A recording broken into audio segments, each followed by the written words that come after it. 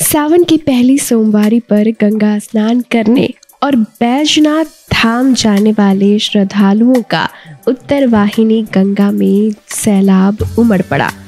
आपको बता दें कि रात के 12 बजे के बाद से ही काफ़ी संख्या में गंगा में स्नान कर श्रद्धालु बैजनाथ धाम के लिए रवाना हो रहे हैं। सुल्तानगंज का गंगा घाट केसरिया में हो चुका है। प्रशासन की ओर से गंगा नदी में एसडीआरएफ और नाविक की तैनाती की गई है। इसके साथ ही गंगा में बैरिकेटिंग भी की गई है। वहीं गंगा घाट पर पुलिस बलों की तैनाती की गई है। आज यानी कि सोमवार को एक लाख से अधिक श्रद्धालुओं के बैजनाथ धाम जाने की संभावना जताई गई थी। वहीं सोमवारी को लेकर गंगा स्नान के लिए स्थानीय लोगों की भीड़ उमड़ पड़ी है। स्थानीय लोग गंगा स्नान कर उपवास करते हैं।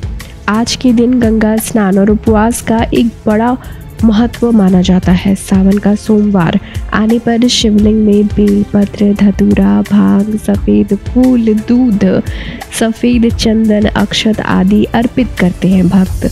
ऐसा कहा जाता है कि इस दिन बेलपत्र पर सफ़ेद चंदन से राम राम लिखकर शिवलिंग पर चढ़ाने से भगवान शिव अत्यंत खुश होते हैं, प्रसन्न होते हैं।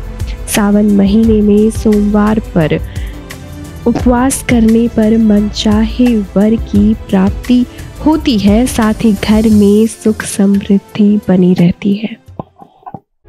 प्रभात खबर डॉट कॉम, विश्वास वही